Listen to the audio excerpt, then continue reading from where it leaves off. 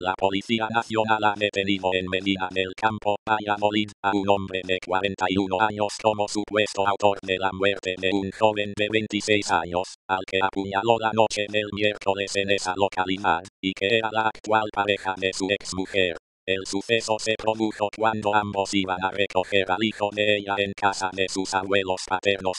Ampersante en el Ha explicado a el subdelegado del gobierno en Valladolid, Luis Antonio Gómez, el Servicio Regional de Emergencias recibió varias llamadas desde un establecimiento situado en la calle del Pozo de Medina del Campo solicitando asistencia médica para un hombre que había entrado en un local tras haber sufrido una agresión por arma blanca. El hombre fue trasladado en ambulancia al Hospital Comarcal de Medina del Campo y no pudo superar la intervención que le fue practicada por la herida que presentaba en el abdomen.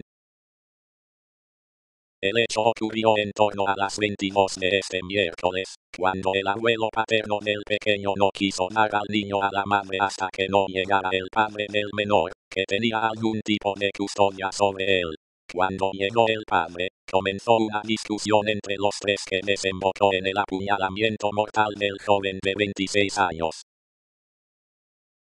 El subdelegado del gobierno ha referido que no había ningún antecedente judicial previo ni por maltrato ni policial del detenido o su expareja.